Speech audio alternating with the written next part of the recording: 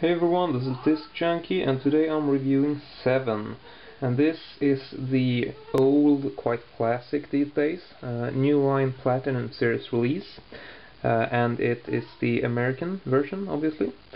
Uh, now I recently showed you the Japanese edition which has very similar style digipack uh, but I wanted to show this even though it is an old release and you've probably seen it um, I think it's, you know, I just want to add it to the database. So, anyway, uh, it has a matte slipcase and a slightly glossy print for the uh, the logo. Uh, and as you can see, it's sort of it's like a sort of multi-layer logo style. You got like a half semi-glossy print for you know all the letters, and it's done in both black and white. So you know from this angle you can't really see it but in the right light you can notice that there's you know there's multiple printed printed layers there so. Anyway I really like the the detail of the the graphic logo. Um, sadly it's uh, not embossed or anything. It's just flat printed.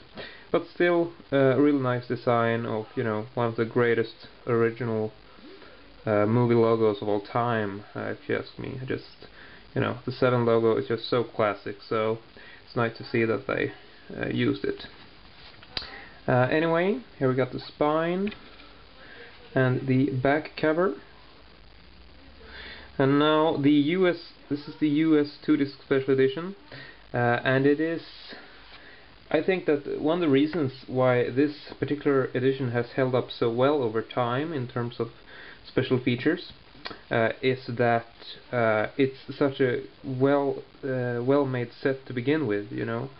David Fincher really made sure that uh, the special features were were good, and he had a big part in uh, in the whole making of the this the set, so to speak. And uh, I don't know what to say. It's uh, you know I, I really like the look of the Digipack, sort of replicating one of the uh, the John Doe notebooks from the film, so to speak. So you know a simple, clever idea, very nicely done. And also you know the inside graphics of this are just stunning. I just just love the look of them. And uh, like I said it's it's incredibly similar to the the Japanese edition um, which I've showed in a separate video.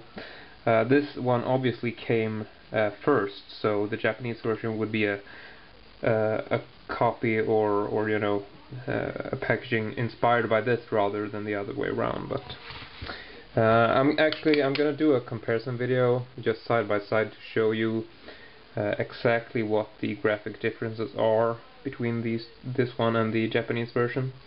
Uh, but you can check that for a later video. But anyway here are the discs which also really nicely designed I think